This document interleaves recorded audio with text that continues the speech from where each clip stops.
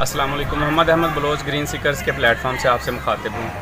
پچھلے سال جو ہم نے گرین سیکر کی طرف سے شجرکاری مہم کا آغاز کیا تھا، چودہ اگست کو ہم نے پہلی پلانٹیشن کی تھی، جس میں چھ لاکھ تیس ہزار پودے لگائے گئے تھے۔ اب اس سال ہمارا ارادہ ہے کہ ہم ورلڈ ریکارڈ بریک کریں، جو کہ ہمارے ہمسائے ملک نے پچاس لاکھ پودے لگا کر سولہ لاکھ لوگوں کی مدد سے قائم کیا تھا۔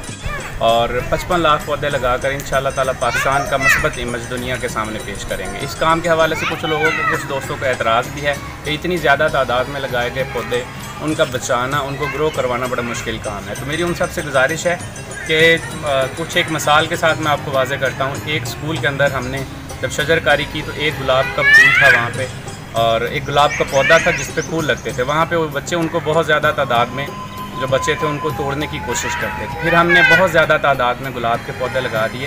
تو ہزاروں کے تعداد میں جب پھول تھے تو بچہ کوئی بھی ان کو توڑنے پر آمادہ نہیں تھا۔ اور اس چیز سے یہ ثابت ہوتا ہے کہ ہمارا رویہ تب بدلے گا جب ہم زیادہ تعداد میں پودے لگائیں گے۔ اس کام میں پوری قوم کا شامل ہونا بہت ضروری ہے۔ ہر دوست جو شجرکاری سے دلچسپی رکھتا ہے، میں اس سے درخواست کرتا ہوں کہ وہ ہماری اس مہم میں ہمارا ساتھ دے۔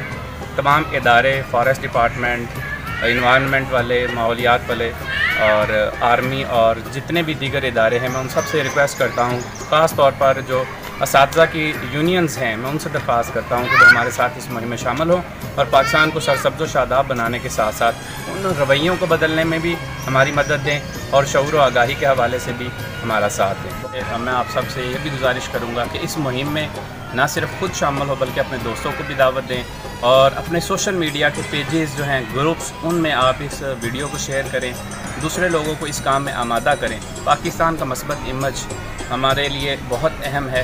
ہر پاکستانی کا حق بنتا ہے کہ وہ اپنے ملک کی اچھائی جو ہے وہ دوسروں کے سامنے پروموٹ کرے۔ گرین سیکرز کا ایک مشن یہ ہے کہ اچھے کو اچھا کہا جائے اور برے کو برا کہا جائے۔ جب ہم غلط کو غلط کہیں گے اور صحیح کو صحیح کہیں گے، تو اچھائی خود بخود پروموٹ ہوگی اور برائی خود بخود پیچھے ہٹتی جائے گی۔ اس کام کو آگے لے کر چلیں، ہمارے شانہ بشانہ چلیں آپ۔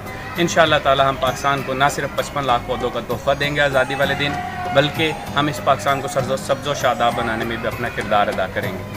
پاکستان زندہ باد گرین سیکر زندہ باد۔